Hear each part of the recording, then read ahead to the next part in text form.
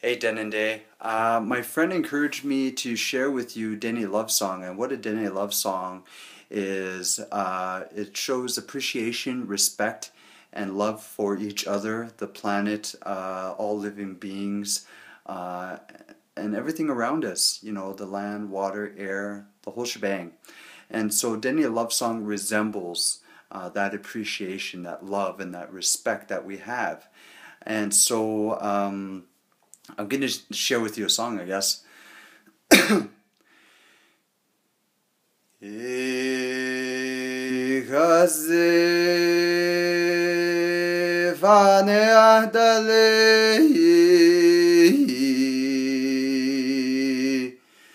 Sits a nigga ne tos ne zinik in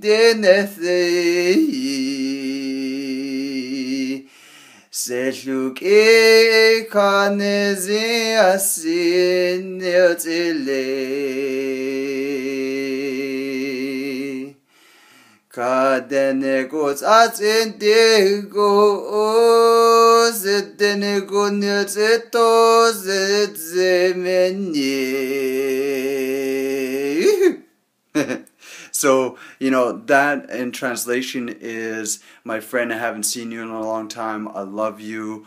Uh, it's good to love one another. And, you know, my friend, uh, it's good to help one another as well. So, you know, it can mean many different things. It's kind of poetic in a way, dene poetry, I guess, or whatever you want to call it.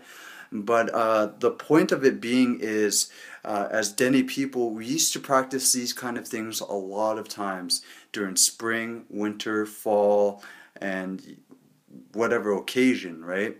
And uh, another thing I want to share with you was uh, back in the day, we used to have a system of uh, not selected marriage, arranged marriage, of whatever you want to call it, but it was explained to me reason why we did that was because back in them days, it was a harsh environment here in the north. Uh, I'm talking six minus 60 weather. You know, sometimes there was hardly any food. So elders knew the bloodline, and they knew if the bloodlines between man and woman were too close, then they would produce offspring that were weak. So that's why we had arranged marriages. So that way we made sure that the people that we were creating uh, were strong individuals, mentally, physically, and spiritually. And so that way we could survive basically to the point where we are today that's just a little information that uh, you know I picked up over the years, just traveling and hearing from people that were really resourceful in the stories that they've shared, uh, that they've collected. So, Dene Love Song, a little history on arranged marriages here in the north and why we did it. Uh, Masi Cho, my name's Lawrence Nayally. Uh, drum dance here in Denendeh, Yellowknife, Friday, 12 p.m., Somba K'e Park.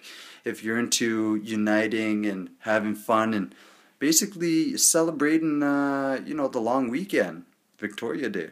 What best way to celebrate spring, life, and the long weekend than a good old drum dance? Uh, Masi Cho, and uh, that's about it.